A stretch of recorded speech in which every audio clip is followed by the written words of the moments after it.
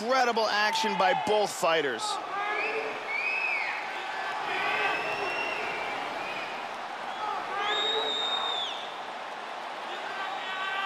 You ready to fight? Ready. Here we go, round two. Now, starting off this round, he might still be hurt. He's going to want to look to be defensive and move and avoid getting hit and try to recover. Damaging left left, hand. hand. Shot with huge the left. Oh, that hook did damage. And he Oh, got big rocked to the left hand. Oh, what a combination.